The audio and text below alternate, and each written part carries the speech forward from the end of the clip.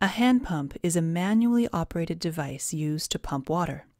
Let's explore the insights of a hand pump and understand its working mechanism. A typical hand pump consists of a lever used as a handle. A piston rod connects the handle with a reciprocating piston. This piston is fitted with a non-return valve. Another non-return valve is fitted at the base of the cylinder.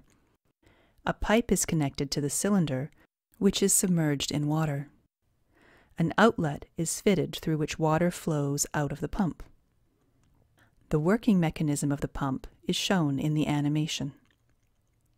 When the handle is pushed downwards, the piston moves vertically upwards. During this cycle, the piston valve closes and the foot valve opens. This forms a vacuum below the piston valve. Then water is drawn upwards to fill the vacuum. Now the handle is pulled upwards. During this cycle, the piston valve opens and the water is drawn above the piston. Simultaneously, the foot valve closes and prevents water from returning back to the well. In the next cycle, the piston displaces the water through the outlet as shown.